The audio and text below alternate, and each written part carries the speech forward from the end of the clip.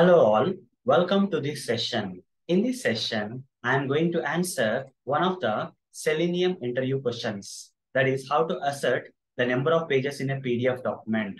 Let me answer. In Selenium, by default, doesn't have any inbuilt mechanism to verify the PDF documents. Okay. So we have to depend on an external library known as PDF box library. By using this library, we can verify the PDF documents. Okay. So let me practically demonstrate how to use this PDF box library for asserting the number of pages in a PDF document in this with a practical demonstration. For that, I'll open the Eclipse IDE.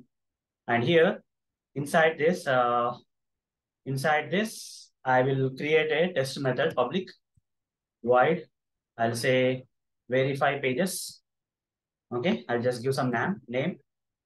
And here on the top of this method, I'll just uh, provide at the rate test annotation. This will convert this normal method into the test-ng test method.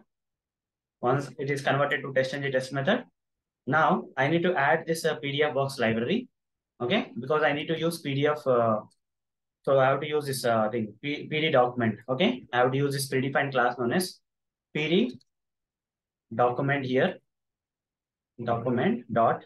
It's not going to work because this library is not there in this configured in this project, not configured in this project, okay? So to get the, to use this predefined class from PDF box library, I have to go to this pom.xml file. In the pom.xml file, go to the dependencies tags.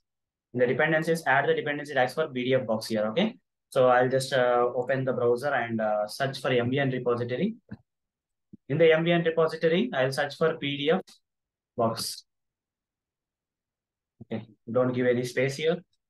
Search it like this, PDF box without space. And you will get this Apache PDF box. Just click on this and you'll be taken to this page where uh, you take the stable version. So far, this is a stable version. We have 2.0.28 uh, for now when I'm recording the session. Copy this uh, Maven dependency tags and uh, come here and paste it. Okay. In the pom.xml file of the project, you paste it. Now save this. The libraries of this PDF box will be automatically downloaded and automatically configured in this project. Once, once the loading is done, just go and hover here uh, otherwise a PDF document. Now you are getting some methods. Earlier you are not getting it. PD document dot, you are getting something. You just use this load of input stream. Here we have to give the input stream. Okay. So what is that input stream and all I will cover later. now, first of all, I need to write this line. Web driver driver is called new Chrome driver. Okay. And uh, over the mouse, import it here also import this Chrome driver class also. After that, driver dot manage dot window dot maximize, then driver dot get. Here provide the uh, URL of the PDF. Okay, we have to provide the URL of the PDF. How to provide the URL of the PDF? For that, go here and Google search for simple PDF online. Simple PDF. Okay, here a simple PDF file Africa University is there. Click on that link. A PDF uh, document will come. This is the URL of this PDF, PDF document. Okay, copy that URL and paste it here. That's it. Okay, this is the URL. Now, what I have to do next is uh, after this, okay, before going here, PD document.load, before coming there, you have to do one thing. You have to specify, you have to represent the URL. Okay, URL, URL, uh, otherwise PDF URL is equal to new URL. Like this, you have to create, okay? And import this URL from java.net. And here, this cannot be empty. Here, we have to pass the URL, okay? So either you can pass this part, otherwise, okay? Like this, you can represent the URL, okay? Here, you are opening this uh, PDF, uh, online PDF uh, URL in the browser. And after that, you are representing this URL, this same URL you are representing as URL. Now say PDF URL dot open open stream. Okay, you have to say open stream. This will return you the input stream. Okay, write down input stream is equal to like this. Okay, over the mouse on this input stream and import from java.io package. Now give this input stream here in this method.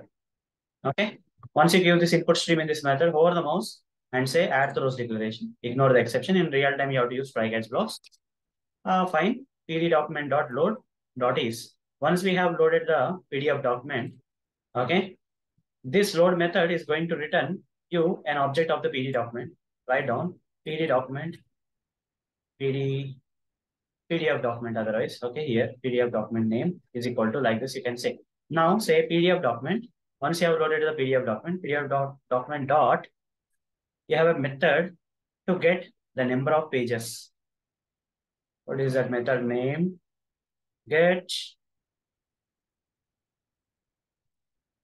number of pages. There's a method. Okay, get number of pages. This will get you the number of pages. Okay, when you have opened this PDF document here, how many pages are there? Two are there. So this will return you the number of pages in the form of integer int actual pages actual pages in PDF document. Now here I'll write exchange assertion saying assert dot assert equals let's take one thing and here we have to give the actual one actual pages I'll give here and here what is expected let's say two only okay I'm expecting two so if, if actual pages uh, that are retrieved from the PDF document is equal to 2, then the test is going to pass. Otherwise, the test will fail, right? Driver dot quit. I'll quit the browser. Now run the script. So there is a way to do it. If the test is passing means uh, things are good. Right click run as test test. So we are able to retrieve the number of pages and uh, we are comparing the number of uh, actual pages with the expected pages. Okay. So this is the logic we have to write.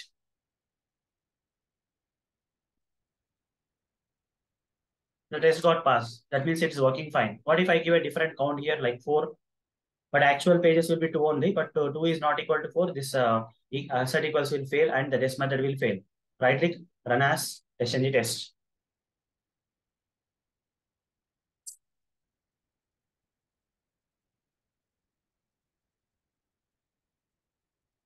See here what's going to happen.